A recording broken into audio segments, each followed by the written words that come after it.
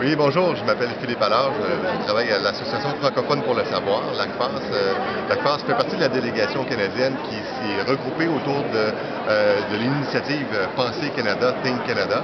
C'est important pour nous de dire, lorsqu'on pense au Canada, on doit penser à la recherche qui se fait en français au Canada euh, et à toute l'expertise qui existe au Québec et dans les universités francophones également.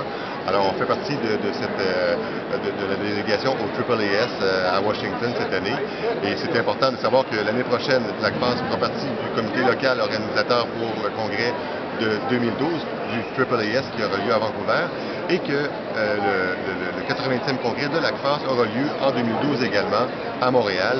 On invite tous les gens à venir nous voir à ce moment-là pour, euh, euh, pouvoir voir toute l'initiative et le dynamisme de la recherche en français Québec et un petit peu partout au Canada.